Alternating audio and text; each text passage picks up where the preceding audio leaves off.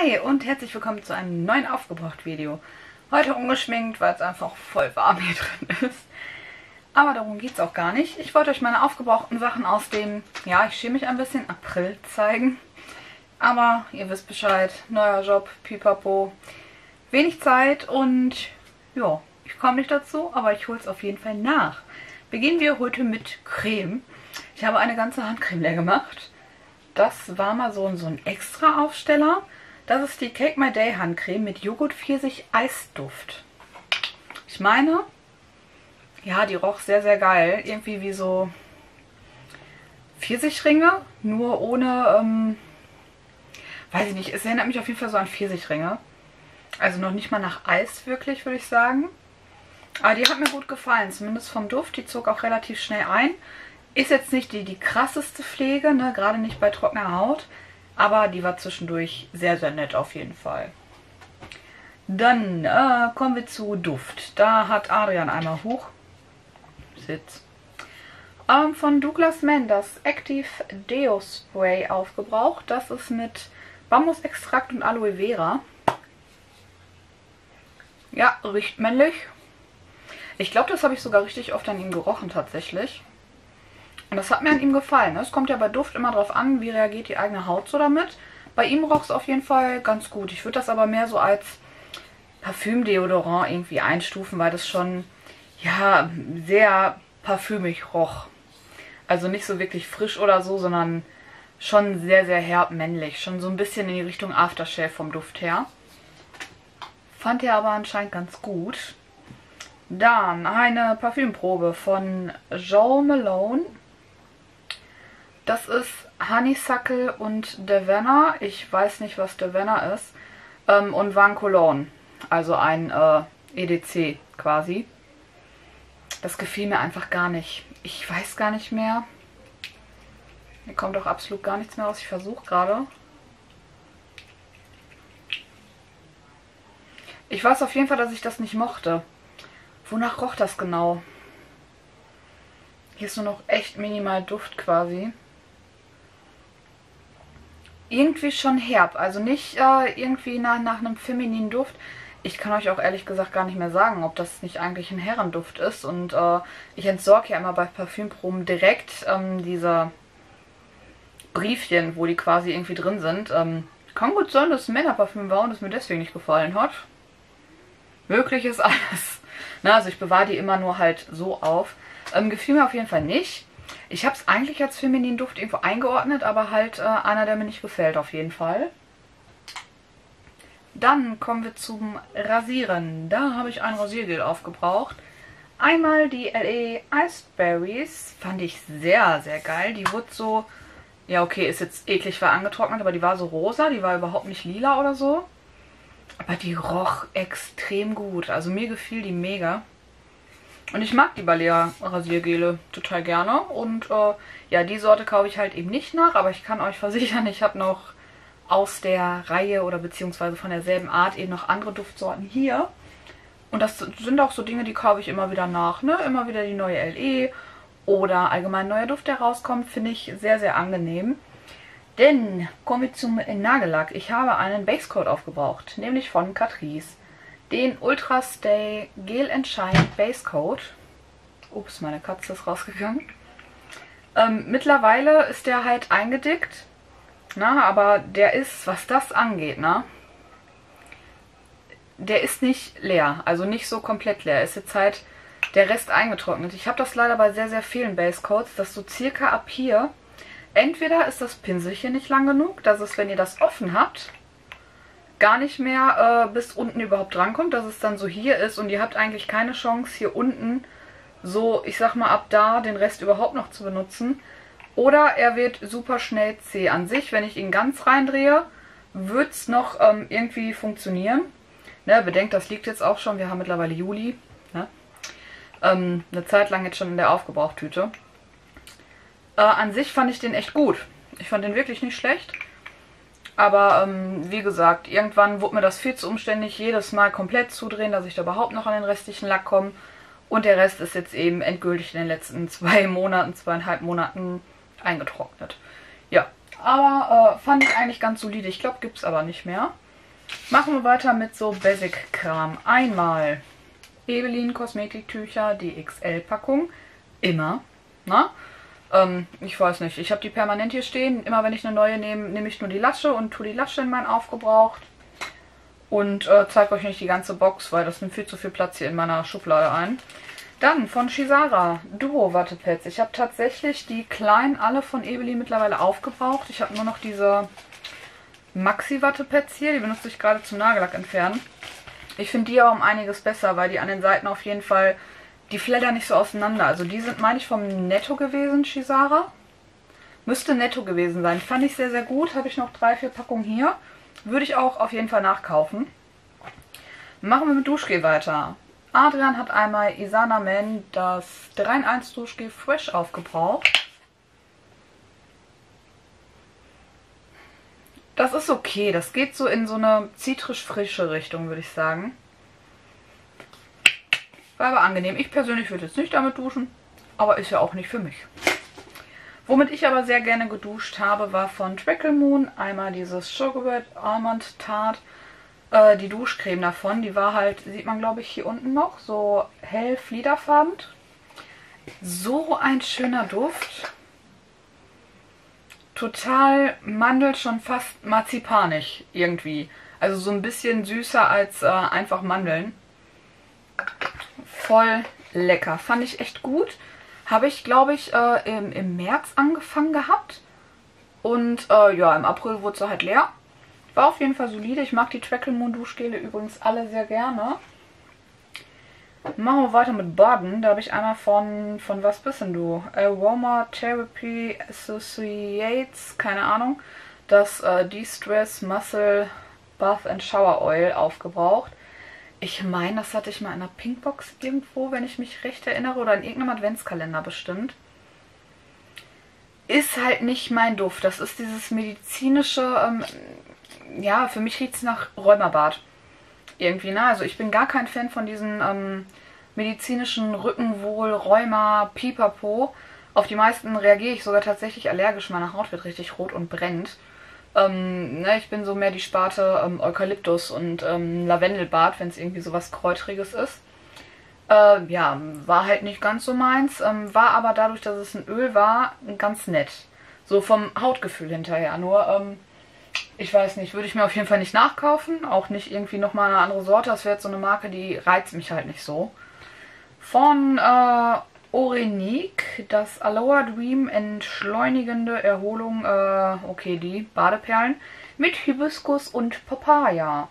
Ich finde Papaya ja einfach mega geil. Hibiskus mag ich auch sehr gerne. Das roch einfach richtig göttlich. Ähm, Badewasser wurde orange hiervon, nicht wie man direkt meinen könnte, irgendwie pink. Ähm, hat auch gut äh, gerochen noch in der Wanne, ne? Also nicht nur so im Päckchen. Aber ich muss sagen, ähm, gefällt mir sehr gut. Müsste ich mal überlegen, ob ich es nachkaufe. Aber war jetzt nicht der Haut mich voll von der Sockenduft. Von TT Sept. Äh, eine Portion Glück, Pfirsich und Vanille, das aufmunternde Badesalz. Durfte ebenfalls in die Wanne wandern. Das roch ja leicht, eher so in die pflegende Richtung. Pfirsich kommt aber auf jeden Fall raus. Vanille eher weniger, würde ich sagen. Eher so, so wirklich in die Pfirsich-Richtung. War, meine ich, einfach nur weiß, oder? Ich glaube, es war weiß. Oder so ganz, ganz leicht orange vielleicht. Auf jeden Fall nicht irgendwie eine knallige Farbe. War okay, äh, wäre jetzt aber auch nichts, was ich unbedingt nochmal da haben muss. Da hat mich auch der Duft jetzt nicht so krass von der Socken gehauen. Dann machen wir mit Zahnhygiene weiter von Don Dent. Einmal die, ähm, war das eine Zahnpasta oder war es eine Zahncreme?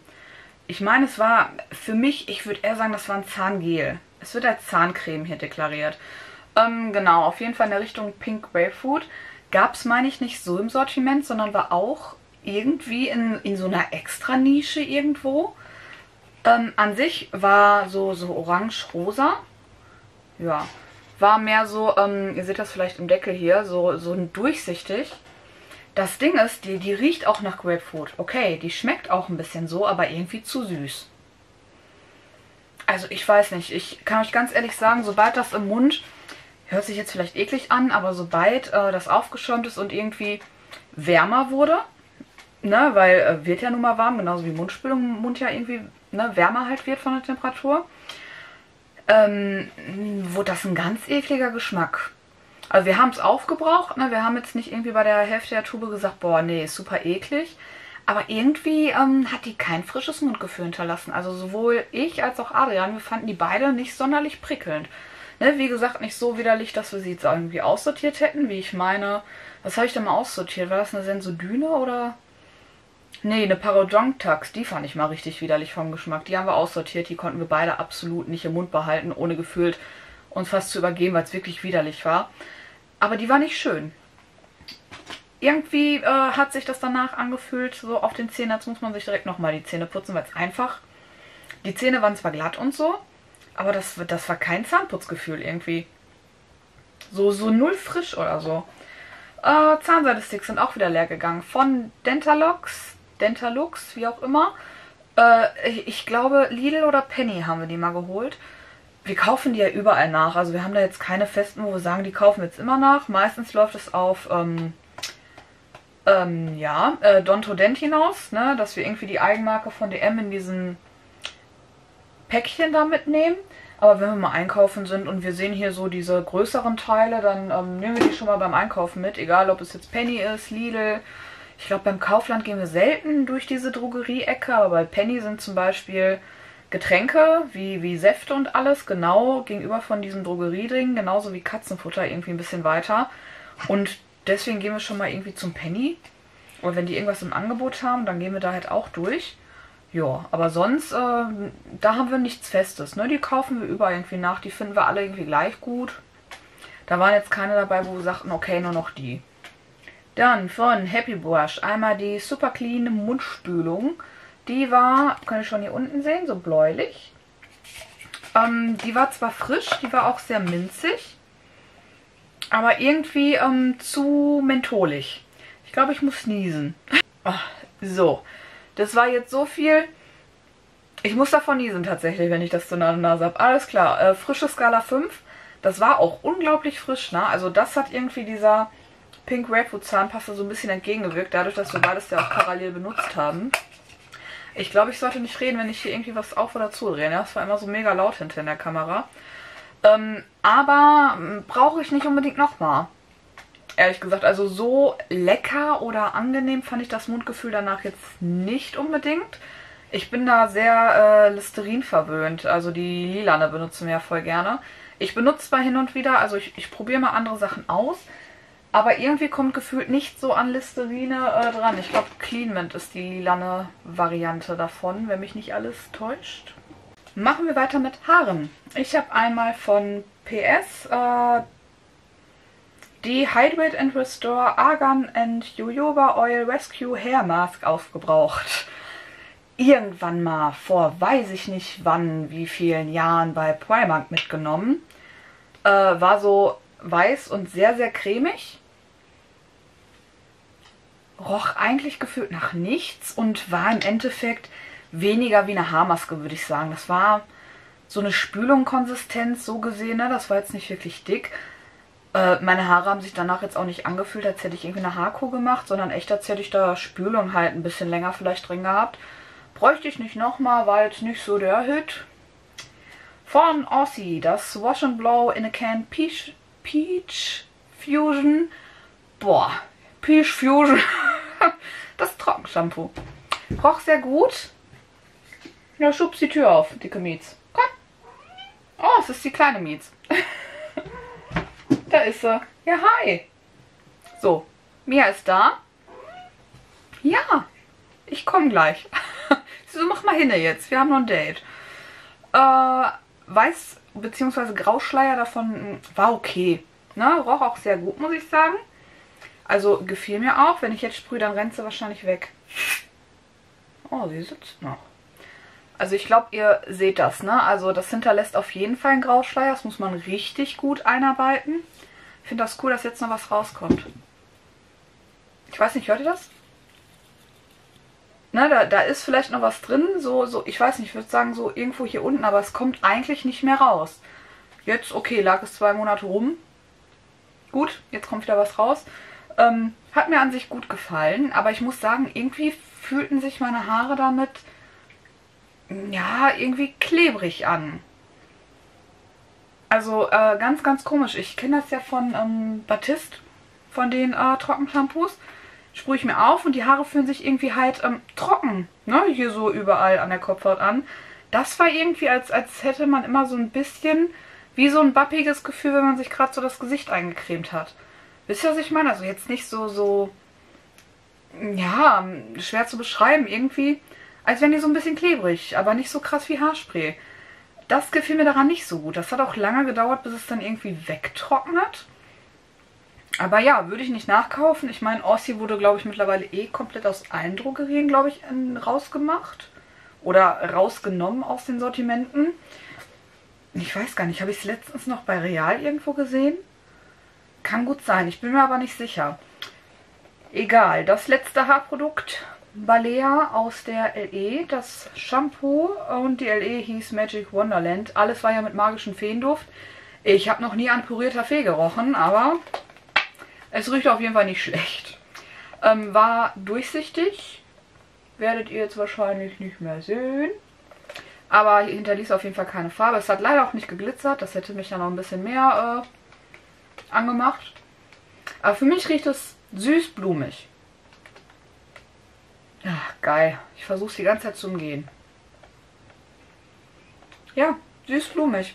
Ähm, war okay. Ist für mich so ein Jeden-Tag-Shampoo gewesen. Obwohl, ne, ihr wisst mittlerweile, ich wasche meine Haare nicht jeden Tag, sondern irgendwie äh, alle vier, fünf Tage. Kommt drauf an. Jetzt, wo es wärmer ist, natürlich ein bisschen öfter, weil ich ja auch auf Kopfhaut schwitze, ne? Ähm, aber ansonsten so, so vier, fünf, sechs Tage. Ne, ich habe halt, wie gesagt, eher trockene Haut, dementsprechend auch eher trockene Kopfhaut, weniger Probleme mit fettigen Haaren. Es sei natürlich, meine Kopfhaut schwitzt genauso wie mein Körper bei Temperatur. Und äh, ja, war ganz nett. Äh, kann ich jetzt nichts Negatives sagen. Die Haare wurden sauber. Mehr erwarte ich eigentlich gar nicht von einem Shampoo. Es darf hinterher nicht irgendwie na, am nächsten Tag äh, meine Kopfhaut nicht jucken. Das hat es bei dem nicht gemacht. Alles okay. Äh, kommen wir zu Gesicht. Da habe ich einmal von NYX das O de Magellant äh, Micellier aufgebraucht. Sagen wir es auf Englisch, ich glaube, das kann ich besser. Micellar Cleansing Water uh, with Rose Petals for Face and Eyes. Also auf jeden Fall ähm, Rosen, Blüten, Wasser. Auf jeden Fall Gesichtswasser. Na, eigentlich mehr so Richtung Garnier mit Zellenwasser, mehr was so zum Abschminken, zum Reinigen. Weniger zur Pflege. Ich mag halt Rose nicht, ne? Was soll ich sagen? Das ist, äh, ich glaube, ich habe das damals in der Praxis, wo ich gearbeitet habe, ähm, von der Apothekerin unten mal geschenkt gekriegt, als ich mir selber die äh, NYX-Öle gekauft habe in diesen Reisegrößen, hat sie mir das dazu getan. Ich habe es benutzt, war an sich gut. Übrigens ist das so ähm, leicht bräunlich-rosa, würde ich sagen.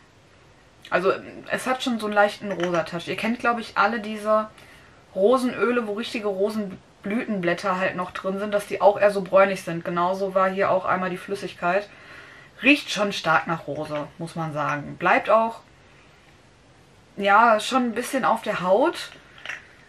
Hat mir allein vom Duft her nicht so gut gefallen, aber das Gesicht hat sich sehr gepflegt angefühlt. Also für die, die Rose nicht abgrundtief verabscheuen, so wie ich, ist das vielleicht was. Ne? Ich weiß selber, Rose ist allgemein super gut für die Haut. Ich kann es halt nur nicht riechen, ne? Darum, ich benutze halt nichts mit Rose. In der Regel, es kann immer mal sein, dass Rose als Wirkstoff drin ist, aber nicht als penetranter Duft irgendwie. Und da war mir das einfach zu stark. Na, also darum ist es nicht so meins. Von ähm, CMD, Naturkosmetik. Einmal das Natural Serum Deluxe, Hyaluron und Seide. Alles klar. Ich glaube mal, in der Luxury Box gewesen. Ich habe einmal ein Jahresabo Luxury Box habe ich mir mal gekauft. Das ist eine Box, die kommt alle drei Monate. Die ist auch ein bisschen teurer, aber da sind auch eigentlich fast nur Full-Size-Produkte drin. Ich meine, da sind nur Full-Size drin. Oder oh, schon krasse Luxusgrößen. Ähm, das war okay. Das war so, eine, äh, so ein ne, gelbliches Öl. Ich meine, das roch auch ganz gut. Kann ich das aufschrauben? Ja, ich kann es aufschrauben. Kann man ja auch nicht bei allen Pumpdingern immer machen. So, hier seht ihr das auch nochmal. Das ist hier so ein leicht gelbliches Öl war. Ja, das roch gut. Ja, doch richtig in Erinnerung. Ähm, war okay. Gesicht hat sich echt gut mit Feuchtigkeit versorgt angefühlt. Ähm, ist jetzt nicht so, so eine Marke, nach der ich explizit Ausschau halte. Ich muss aber auch sagen, die hat jetzt kein Wow-Ergebnis gemacht, wo ich jetzt sagen würde, es würde sich lohnen zu googeln, wo man das kaufen kann. Na, äh, war okay, hat meiner Haut jetzt nicht geschadet. Ähm, war jetzt aber, wie gesagt, nicht der neue heilige Gral irgendwie meiner Gesichtspflegeroutine. Ich glaube, ich habe jetzt nur noch Masken, genau. Und dann sind wir auch durch. Von Balea, die Q10 Antifalten und Energy Maske. Äh, die war okay, das war so eine weißliche äh, Crememaske halt gewesen, die man später wieder abnimmt. Ähm, ich finde so Q10-Sachen oder allgemein alles, was irgendwie so Richtung Antifaltencreme und sowas geht, ne? Also ich muss euch ganz ehrlich sagen, ich glaube, meine Mom hat mir mit 18 meine ersten Antifaltencremes ähm, mal zum Geburtstag geschenkt. So, so, ne, noch neben anderen Sachen halt. Ähm, das war damals, glaube ich, die Balea Q10 Tages- und die Nachtpflege. Die hat sie selber immer sehr gerne benutzt. Als ich dann natürlich meinte, Mama mit 18 bin ich ein bisschen jung dafür, weil die Empfehlung ist, glaube ich, bei 35 bis 45 Jahren irgendwie, ne? Äh, meinte sie, hör mal, pass auf, äh, du hast noch trockenere Haut als ich. Alles, was irgendwie Antifalten ist, ist super bei trockener Haut, weil es um einiges reichhaltiger ist. Und das ist irgendwie so kleben geblieben, jahrelang. Und ich muss wirklich sagen, wenn ich so eine Q10, also alles, was eigentlich gegen Falten sein soll, äh, so eine Maske oder sowas benutze, dann ähm, fühlt sich mein Gesicht tatsächlich gut mit Feuchtigkeit versorgt an. Und irgendwie ein bisschen praller. Jetzt weniger irgendwie im Faltengedöns. Also ich benutze nicht durchgehend irgendwie Antifaltencreme. Das ist nicht der Grund, warum ich aussehe wie 18. Obwohl ich fast 30 bin. Ähm, Nein, das ist nicht der Grund. Äh, ich benutze einfach super viel Urea und alles und ich gehe einfach nicht in die Sonne. es sind meine Gene. Ich habe immer Augenringe bis, die, bis zu den Kniekehlen. Ich schwöre euch, bis, ihr seht das. Ich bin einfach genetisch dafür gemacht, Augenringe zu haben. Ich kann da auch nichts tun. Das ist egal, wie viel ich schlafe. Aber ähm, diese dicken Backen gehen nicht weg. Ich glaube, ich kriege nie Falten.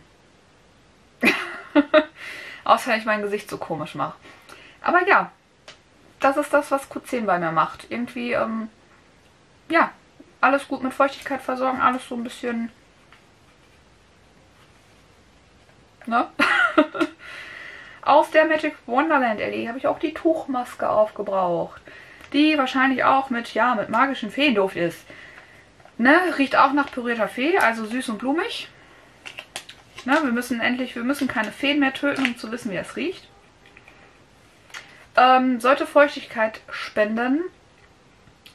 Ich meine, die Passform war gut.